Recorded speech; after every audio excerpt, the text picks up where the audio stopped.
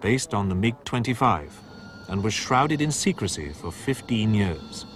This ultra-heavy, 100,000-pound interceptor with its two RD-30 F6 turbofans retained the high performance of its prototype. The 31 can accelerate to 1,900 miles per hour and climb to 65,000 feet.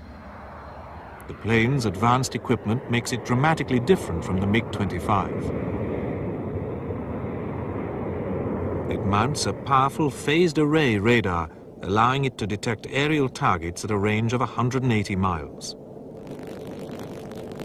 Low-flying targets can be tracked by an infrared sensor. The interceptor's fire control system allows to fire at four targets and track 10 targets simultaneously. This interceptor unique in its class, demonstrates the potential of the Mikoyan Bureau. In its 50-year history, the Bureau grew from a small department into one of the largest aviation enterprises in the Soviet Union.